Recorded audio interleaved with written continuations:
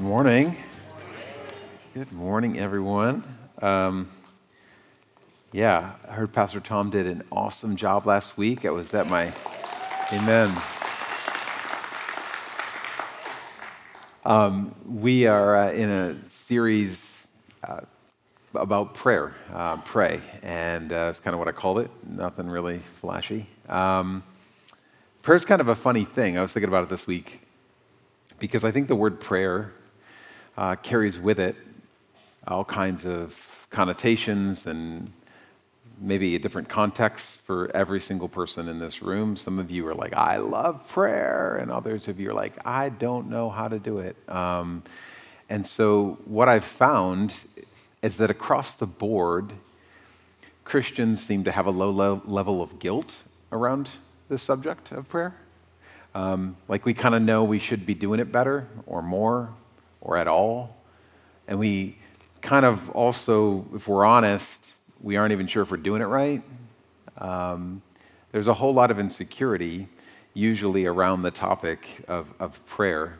And, and so what we end up doing is we often like we lean into or onto other people who we perceive are doing a great job. They're killing it when it comes to prayer, right? Because they're getting results, and they just sound awesome whenever they pray. And you're like, man, I, want, I need to do what they're doing. I need to pay attention. And, and so we end up um, learning how to pray, not because we took a class on it, um, but because we watched other people do it. And then we kind of try to do some of the things, the tricks and, of the trade, right, when it comes to prayer.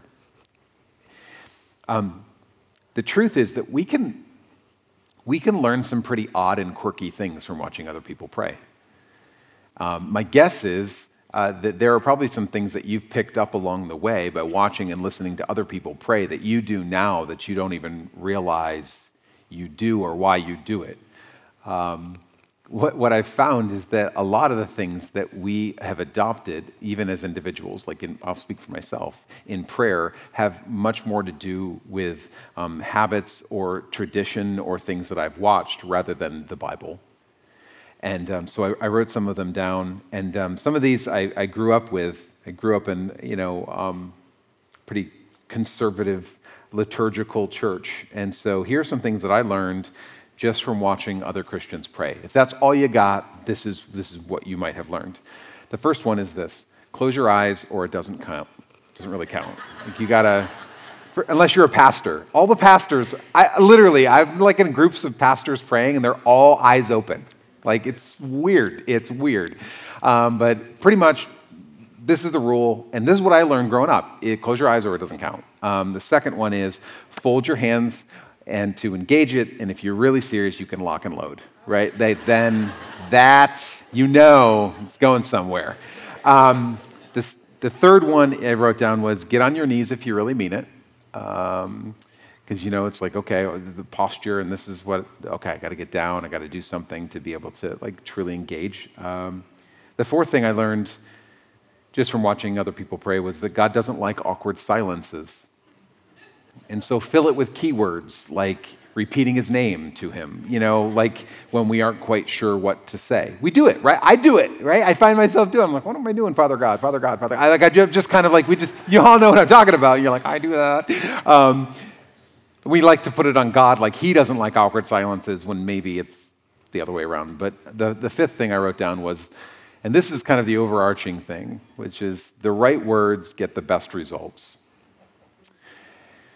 So you listen to someone that is so eloquent and they're so good at praying. And it's like, I can't even, I don't even know. I don't even know what they said. They said big words. Beseech? What does that even mean, right? Like, and you get to the place where you're like, I feel like I can't do the thing because I don't know the right words. So I don't want to say anything because I don't want to mess it up and I don't want to get it wrong or ask something that's inappropriate, right? Um, so I poke fun at it a little bit because, because these are things that I do. These are things that I've picked up along the way. And I want to give you some good news here. And the good news is this that um, Jesus' disciples, when Jesus was walking on earth, right, uh, were doing the exact same thing that you and I do, which is okay, I'm watching other people and going to see what they do. In Luke chapter 11, the Bible says that uh, in the very beginning, chapter 11, verse 1, they, the, the disciples were watching Jesus pray. And that must have been a sight. Can you just imagine, like, watching Jesus connect with his Father? It's like God and God, and they're both talking. It's this, I mean, talk about a mind blowing experience to, to literally watch Jesus pray. And as they're watching, one brave disciple goes up to Jesus and says, Hey, like, asks for the one thing that all of them were um, either too proud to ask or too scared, or I don't know, is this appropriate? And this is what they say in Luke chapter 11, verse 1. He says, Lord, teach us to pray as John taught his disciples. Teach us to pray. Now, this is a bit unusual because these are a bunch of Jewish guys who grew up praying. Like they would have had to learn how to pray at a very early age as, as Jews. They would have memorized prayers and been able to recite them from memory. Like, so they, they knew how to pray. This wasn't the deal. They, they already knew how to pray. And yet, as we look out through the, the New Testament, the only things that the, the disciples overtly asked Jesus to teach them was teach us how to pray like him.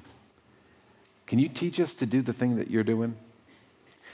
They don't ask Jesus to teach them how to preach like him or teach like him or sing like him or heal like him or raise people from the dead like him. Like the, what's really interesting is that they ask him, Hey, could you teach us how to pray? So, what exactly are they asking for? If they already know how to pray, they already have a bunch of, you know, mem- memorized prayers and scripture memorized that they can pray out loud, then, then what is it that they're asking for? It's almost like they're like looking at Jesus and watching him and thinking, I want to I want to do that. Like I don't like I do the thing. I do. I could. I've been praying since I was a little kid. But like what you're doing, uh, could you teach me to do that? Like because that looks fun. Like that looks powerful and exciting. That looks different than anything that I've ever experienced. And that makes, if I'm going to be honest, Jesus, that makes you like look different after you do it. Can you teach me how to do that? And what's interesting is that Jesus' response is not like what I would normally think eh, that he would say, like, guys, are you kidding me? Like, we've been together. I mean, how long, how long have you been wondering about this? You're kidding me, right? Like, you don't, you want to know how to pray? Now, just now you're finally asking me this question? But what Jesus says is this when you pray, pray like this. And then he launches into the most famous prayer. We call it the Lord's Prayer. It's really kind of a, less of his prayer and more of a teaching on prayer. Um, and many of us grew up reciting this. Like, even if you're kind of like nominally around church, you probably know the Our Father is what we called it growing up. Like, it's the Lord's Prayer. And I bet I bet that many of you could recite it with me. I bet that many of you can't help but recite it with me. Like you're gonna, even if you don't say it out loud, you're gonna be like, I know this one, I know this one. You're gonna be muttering it. I know it. I could. So let's just to humor everybody, let's walk through it. And in typical, if you came from old school church fashion, our Father who art in heaven, hallowed be thy name. Thy kingdom come Thy will be done on earth as it is in heaven. Give us this day our daily bread and forgive us our debts as we forgive our debtors. And lead us not into temptation, but deliver us from evil. And then the Protestants added the really good part that all the sopranos love. I know you Catholics in here, you're like, wait, we, I thought it was trespasses, right? I, okay. Then they, for thine is the kingdom and the power and the glory. Come on, I heard you. Forever. Come on, help me out. I need some help here. You guys are like, oh, you sing it, you sing it. Like, no, I don't want to sing this. Y'all know this, right? What I find really interesting is that, and I don't know why, but whenever I get around Christians and we, the, the Our Father, or this portion of Scripture is read, like I find like we fall into like a religious mindset. Like almost like you just stepped up to like a memorization thing or, a, or like a recitation. Like, I know this one, I can get it. Don't worry, I, I, I know this one. I, I can recite this. Because I want us to consider something, and, and it kind of peels back from the whole memorization thing that maybe you grew up with. What if Jesus, what if what he prayed here wasn't meant to be something that we memorize or recite or sing? What if, what if Jesus was actually answering this brave disciple's request? Um, what if he's teaching us something that was meant to change everything? Because I guarantee you, the very first time that those words left Jesus' mouth, it would have blown their minds. It could have been a mic drop moment, walk off the stage experience. Like this teaching on prayer would have immediately shifted their thinking, rattled their theology, and maybe even changed their worldview. This was less about listening to Jesus pray a really sweet prayer and more about a teaching that quite honestly changed everything for them. And so Jesus leads into the Lord's Prayer that we call it in Matthew chapter 6, verse 9. He says this, and I like it pray then like this. Pray then like this. He wasn't saying, okay, recite this prayer. Mimic what I do. Eyes closed, hands together, knees on the floor, repeat after me do the thing. He says, when you pray, pray then like this. And so today we're going to focus on the first part of the teaching on prayer. Um, Matthew 6 9, he says, Our Father in heaven, hallowed be your name. We're going to focus just on that today. Um, there's a story of a Sunday school teacher that asked his second grade class for some names of God. Like, okay, kids, give me some names of God. And this one child raised their hand, like, I know, I know, I know, I know. Okay, what's the name of God? Howard. How? That's a new one. Howard, really? Where did you, where did you get the name Howard? And the kid's like, oh, that's easy. That's that. I got it. Our Father who art in heaven, Howard be thy name. Like, Got it. He says it. He literally says it, right? Like, it's actually in these first two words, though, our Father. Jesus launches his teaching on prayer, and I think, I think quite honestly, they may be the, the two most important words of this lesson. Like, if not the most important, I think that Jesus says these first two words first because he's like, if you got to wrestle these to the ground before you do the rest. Um, and he just says, Our Father. He doesn't start out by saying, Our King, although he is, our Creator, although he is. What is Jesus getting at? It's this when you pray, understand who you're talking to. And so the title of my message today is Your Father. Your Father. And this is so significant because um, in life, not just in prayer, but in life, like we approach people uh, based upon the relationship that we have with them. And so the relationship that you have with someone determines how you interact with them, how you encounter them, how you approach them. So in your notes, I put a, a few examples. These are not exhaustive, they're just examples. Um, the first one was like if a, a random stranger. Like when you approach, or if you approached a random stranger, you approach them based upon what I need from you. Um, I, don't, I don't normally go up to a stranger in a restaurant and ask them for a bite of food or a sip of their coffee.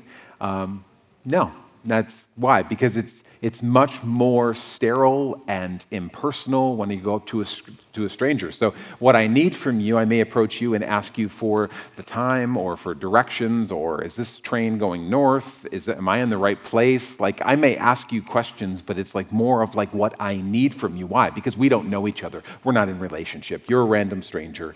I'm not going to go up and just share my life story or my heart with you. I'm just going to get something that I need from you. Now, if it's a business relationship, um, you, you approach a business relationship based upon what I have for you. It's a conditional relationship. Business relationships are conditional. It's something like I got something that you want, um, I can do something for you, and depending on my performance, depending on my persuasive words, you will either choose to either pursue the relationship or not pursue the relationship. But it's very, it's a conditional. It can be seen maybe even as a friendship, but it's a conditional friendship, it's a conditional relationship. And the third one is family, and this is the one that I want to drill down on today. The family relationship is altogether different. Altogether different.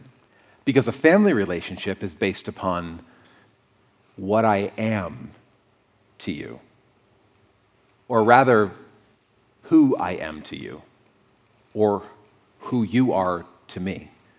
Like a family relationship begins from a place of identity. It's not about what I need from you, what I can do for you, what I have for you. It's more about like who I am to you. I am your child, I am your sibling, I am your parent, you are in my family. Like it's, it starts with identity and then works from there. For example, my kids don't get accepted into my family or more accepted into my family based upon the chores that they do. I may be more happy with them. But that doesn't, that's not the entrance requirement to be, to be a part of my, my family, right? Um, and in a similar way, you can't become a part of my family by doing things for me.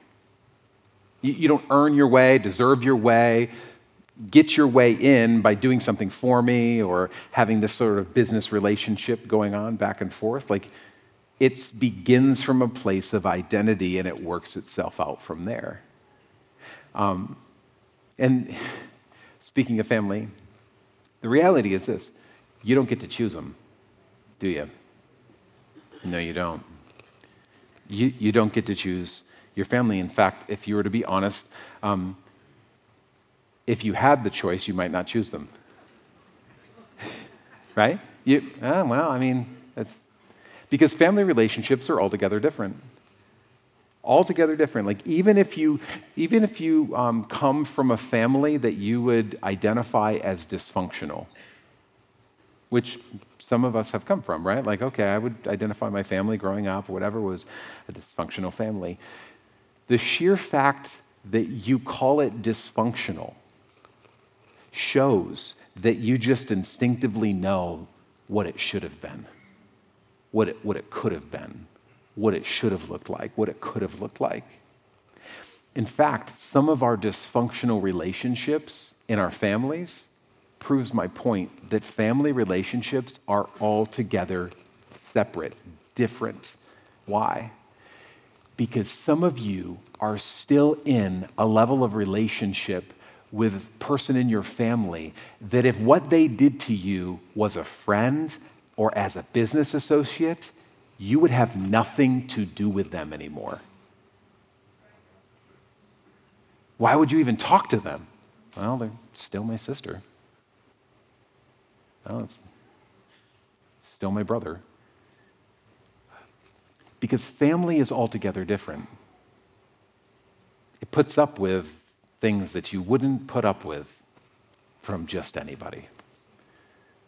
And so, why do I talk about this today? Is this that when Jesus starts out teaching on prayer by saying, Our Father, he's not only communicating who God is, but also who you are. Jesus is wanting a relational revelation of family, something that is altogether different than the mute idols or other things that you can worship. He's like, I'm wanting you to wrestle this to the ground, and this is huge. So before you start praying, before you go on and, and, and, and, the rest of this, Our Father, like you start here, wrestle that to the ground, know who it is that you're talking to, and, and, and by the sheer fact that he calls himself Father, that makes something different about you. The Apostle Paul describes it in this relationship in Galatians 4.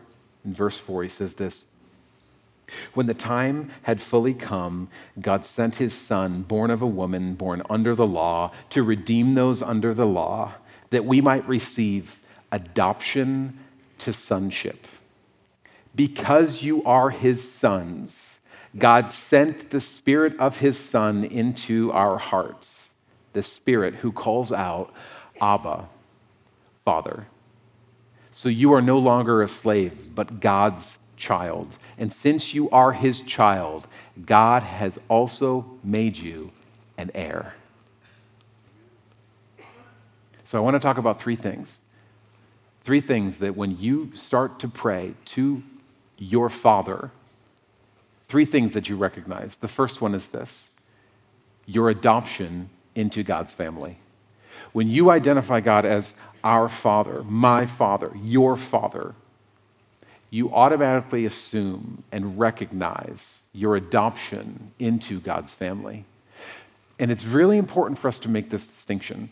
Um, sometimes people will say in churches and outside of churches, well, like, you know what, everyone is a child of God and we're all in God's family. I don't, I don't mean to like to poke that, but that's not necessarily how the Bible portrays things. Um, you may get offended, but let's take a look at what the Word of God says. John chapter 1, verse 12 says, Yet all who did receive him, to those who believe in his name, he gave the right to become children of God. So here's the, here's the reality.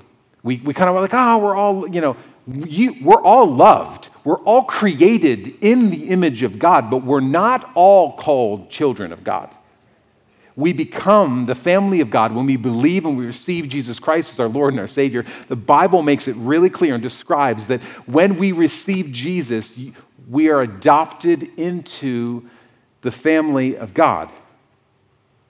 And when that happens, well, when God adopts you as, as his child and he is your father, what happens is you get a new identity you get a new identity. This happens in every adoption.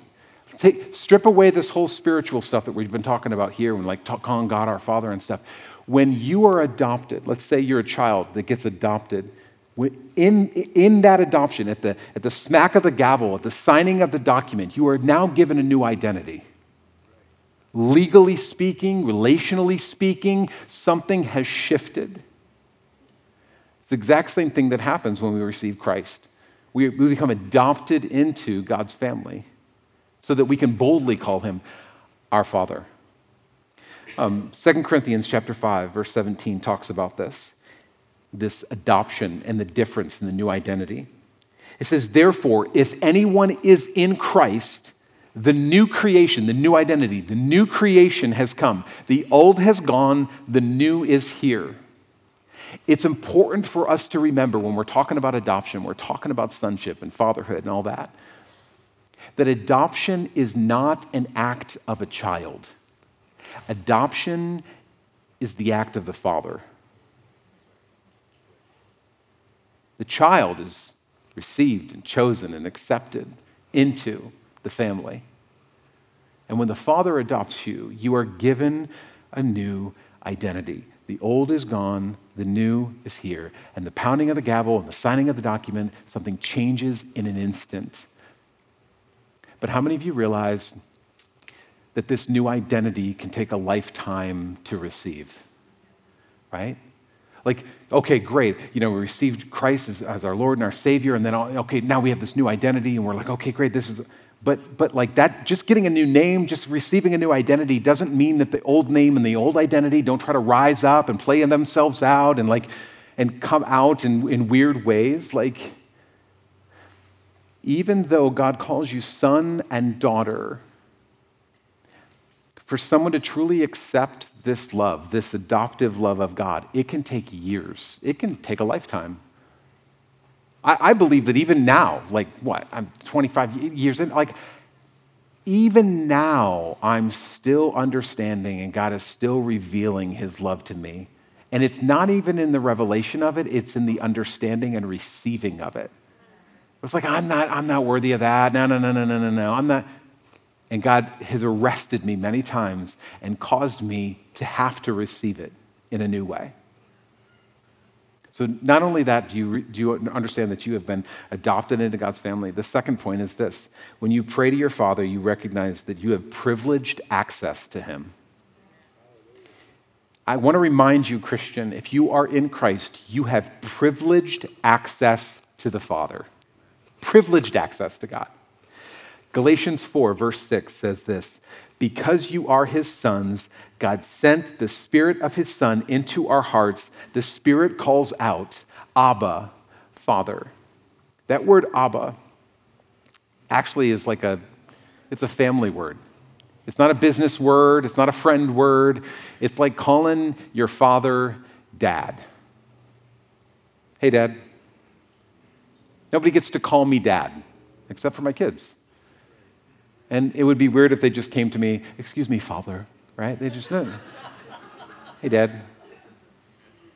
It's a family word. And so, even though our God is the creator of the universe, he doesn't require us to approach him as such. That is crazy. That we, that we begin from a place of our Father.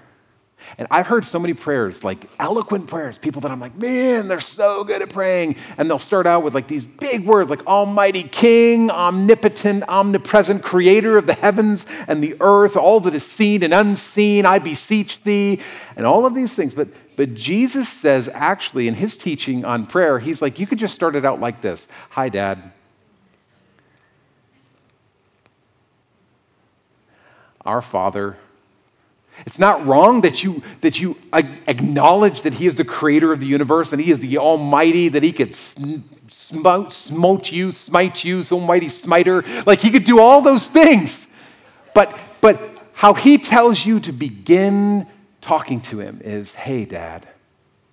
Hey. Hi. And so we quickly realize that God is not necessarily impressed, as I am, by eloquent speech. And what he desires is just to hear from his kid.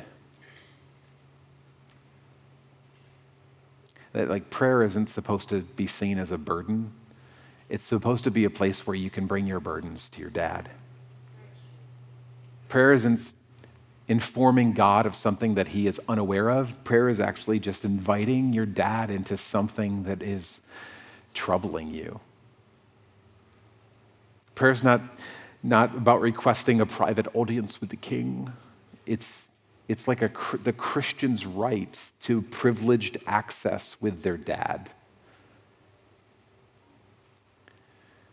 Luke chapter 18, verse 15 says, People were also bringing babies to Jesus for him to place his hands on them.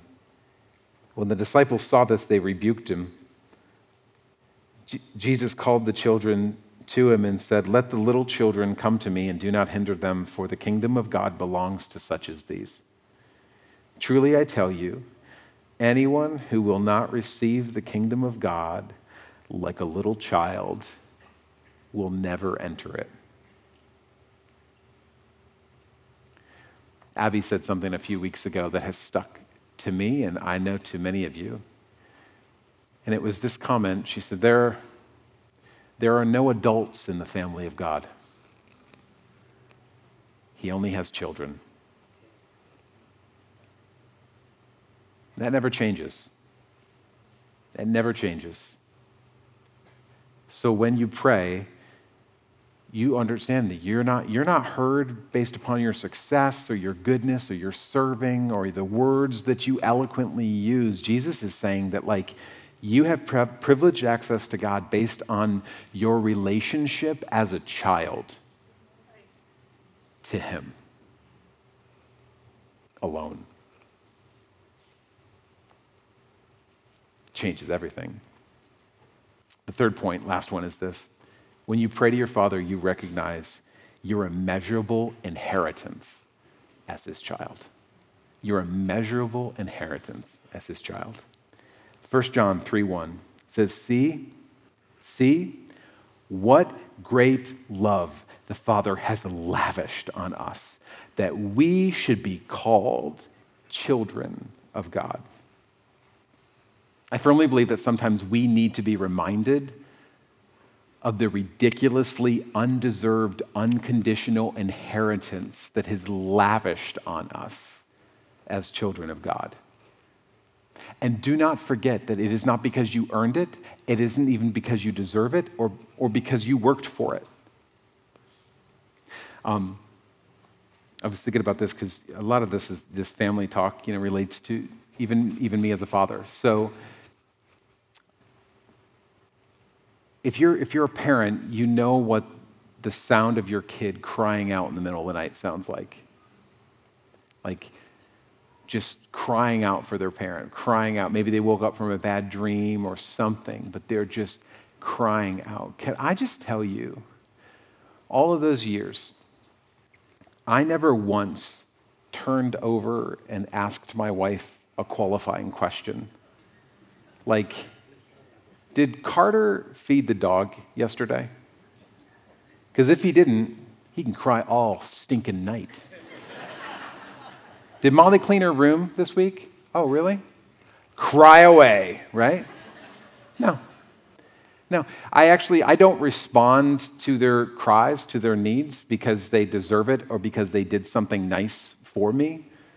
Like they're always going to be my kids, so they can cry out and I'll always be there. They, they don't earn audience with me based upon what they did for me. It is identity first. You're my kid. I'm running in there. I, I don't know what's going on. Like, I, I'm here, though. Dad's here. And it's not on a contingency basis, it's not on a conditional basis. This is the Father. When God says our Father, this is the Father, the Father's heart. The point that Jesus is making in this, in the beginning of this teaching, is this when you understand that you are an adopted son or daughter, when you understand that like you have privileged access to your dad in heaven, when you understand that you have an immeasurable inheritance as his child, it ought to change how you pray man, it just takes the pressure off, to be honest, because it can be messy. My kids don't worry about how they're crying in the middle of the night. They're like, oh, was it too loud? Was it too whiny? They're like, never. I wish they would, right? Like, they're just crying out. They're like, Dad, Mom, I had a bad dream, whatever. Like, there's no like thought about like, well, I should, I maybe should position myself or change my, you know, like, no, like they just, they're just crying out. And the beautiful part of this as we begin this like idea of studying what prayer looks like is that Jesus is making you realize that, that prayer has very little to do with how you do it. How forceful you are, how loud you were, what the words that you use, how polished it was, how eloquent it sounded. And you begin to realize that it begins with you're his child, and you've got a really big, good dad. Like, what if prayer has less to do with me getting God to do things or changing his mind about things and has much more to do with me coming to the terms of my new identity and allowing it to begin changing me? Which means what if you aren't meant to learn how to pray by watching other people do it? What if you aren't meant to pray by, by taking a class to, to learn how to do it? And there's nothing wrong with that. But like, what, what if that, in its very essence, is not what it's about? What if we're to learn how to pray by praying? like my kids crying out in the night? Like, what if, what if that is like the beginning of understanding what kind of a father he is? The Bible actually says that he's near to the brokenhearted, that he's close to those who are crushed in spirit. It's almost like it's saying, if you are at your end, he's closest. Because the end of ourselves is the beginning of him. Amen? What if that was never the point that you just fold your hands right, close your eyes, knees on the floor, all the right things? What if, what if it was just about your dad just being so stinking excited that you tried? That you're just talking to him. He wants to hear from his children. Won't you stand with me?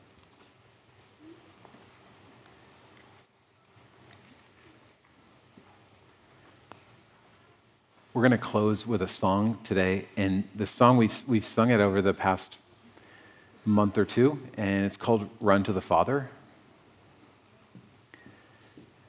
I want to, um, I feel like I've got a word for, for someone in here, and, and maybe a few of us, right? But um, we're going if you've been around here and we sang this song, Run to the Father, it, um, man, just that word father, as we're coming up on Father's Day next week, has all kinds of stuff attached to it based upon our earthly fathers, our earthly families. Functional, dysfunctional, whatever, whatever, whatever it looked like. Um, and I would say this to, to I've, I've, this is the word. You may feel like you have a prayer problem but you actually have a father problem. May feel like you're like, I don't know, I just feel like my, my, my everyone else can pray, but I can't, like I, I just can't get connected. I feel like it just doesn't do anything. It doesn't, I don't, I, I don't feel like it's a safe place for me to just express my heart to God. Like I just, I would say this, like if you're in that place, you may feel like you got a prayer problem. I'm just not doing it right. I, I don't know. I'm not, but what the problem may actually be is a father issue. And I just want to take a moment today and speak to that father wound. That wound of like, man, we sing that song, Run to the Father, and I don't know what that looks like because I just always feel like running away.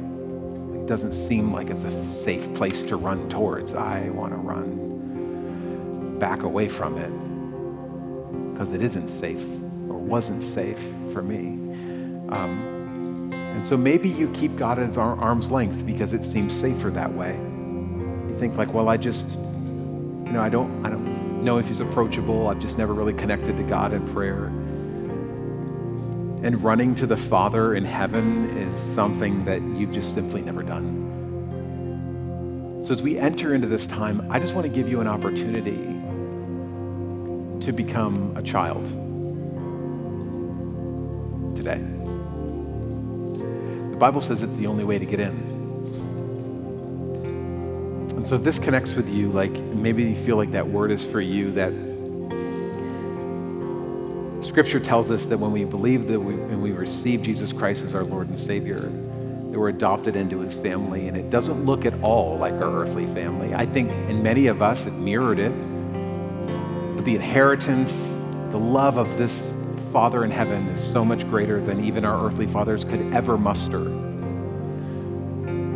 So, if that's where you're at right now, maybe you've never done this before, I want to give you an opportunity to, to do that, to do that right now. So, it, I, I want to invite you to pray with me, but if, if I could just have everyone just bow your heads. And I just want to speak specifically to the individuals in here that just feel like, yeah, you know what? Like, I think you're talking to me right now. I feel like that word's for me. All over this place, I just want to encourage you, just lift your hand up before, before your Father in heaven. God, I, I want you to correct that in me. Correct that in me. All over this place. Yep. Okay. Correct that in me, Lord. Correct that in me. I want to lead you in a prayer, and there's nothing magical about it. It's just coming to the place of like, I, I know I need to be a kid, so I receive you. You pray this with me. Father God, I see you right now. I haven't always been looking for you or running to you. But in this moment, I realize that you've been looking for me my whole life. So today, I confess my sin and that I need a Savior. I confess that Jesus Christ is the Son of God. He came, and died, was buried, and rose again so that I can have more and better life. I ask that right now that you would forgive me of my sins,